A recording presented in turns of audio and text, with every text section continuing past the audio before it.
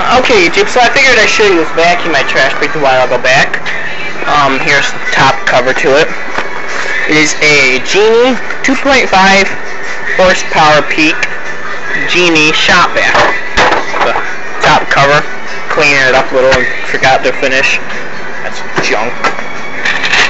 These long screws that were in the covers. Um,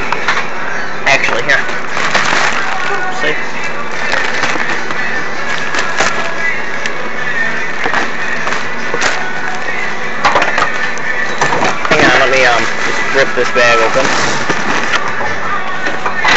Somebody put um some duct tape on it, but here's your big, pretty good sized pipe that goes on it. Here's your uh actually it looks a lot like a pancake motor that you would find in a chair. Slim design. Looks like a Hoover wind tunnel fan would actually go on there if I ever needed to. Wish I knew where those were at. I have two Hoover um, fans.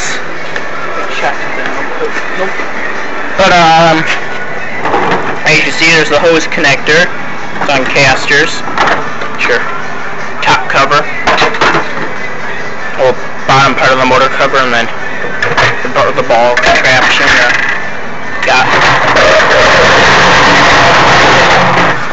locks on it. You can see it.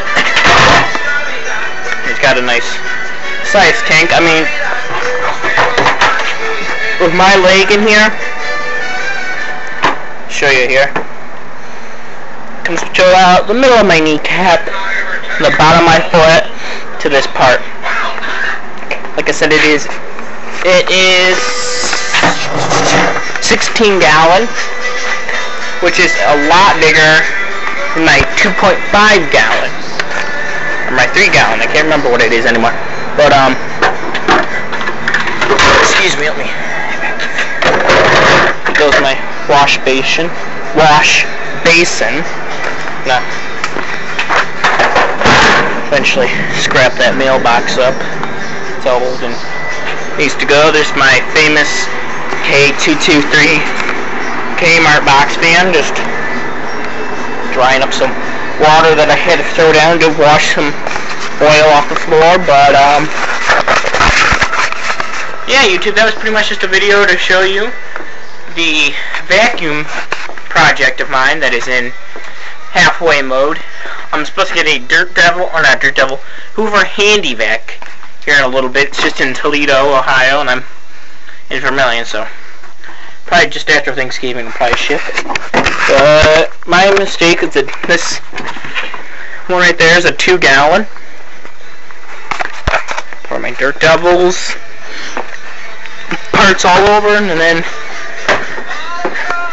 so you can't see, but over here is all my vacuums. There's 1, 2, 3, 4, 5, 6, 7, 8, 9, 10, 11, 12, 13, 14, 15, 16, 17, 18, 19, 20, 21, 22, or 21, I mean, sorry. 21, 22, 23, 24, 25.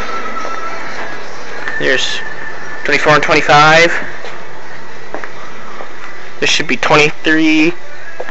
Or no, this should be 22 and 23. Yep. 26. 27. I got one up for my grandma and grandpa's.